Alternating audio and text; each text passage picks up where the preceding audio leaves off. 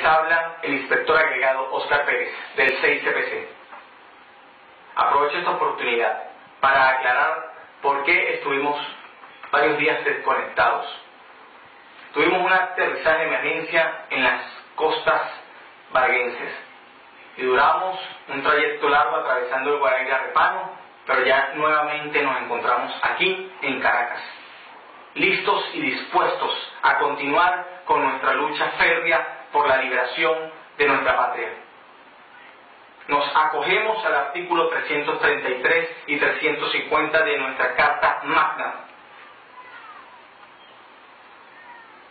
Queremos aclarar también que las maniobras hechas el 27 fueron logradas a la perfección en una primera fase, donde solo hicimos daño a estructuras como el Ministerio de Justicia y el Tribunal Supremo. No hubo daños colaterales porque así fue programado, porque no somos unos asesinos como lo son usted, señor Nicolás Maduro, como lo que son usted, Diosdado Cabello, que enlutan todos los días hogares venezolanos. Quiero dilucidar que la segunda fase de nuestro plan será lograda igualmente, con la convicción, la planificación y nuestro esfuerzo en conjunto. Hemos revisado las redes, donde hemos visto que muchos que opinan sentados, que dicen, pero no hacen nada, que nosotros hemos hecho este levantamiento por ego. Yo quiero preguntar,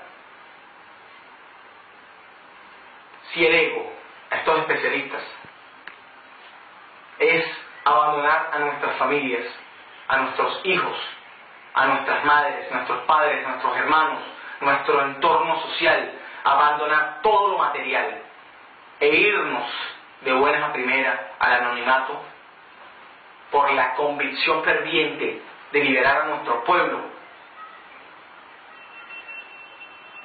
si eso es ego. Estamos plenamente seguros de lo que estamos haciendo. Y si debemos dar hasta nuestras vidas, las entregaremos por el pueblo. Y lo estamos demostrando con hechos de hablar, salgan a las calles, a hacer, a representar a Venezuela, a luchar, porque si se da esta constituyente, no habrá Venezuela. Les habremos regalado el país a los cubanos y este cogollo pequeño de corruptos que se negocian el gobierno, se negocian el destino de nuestro país, el futuro de nuestras generaciones de relevo, mediante el trago y el vicio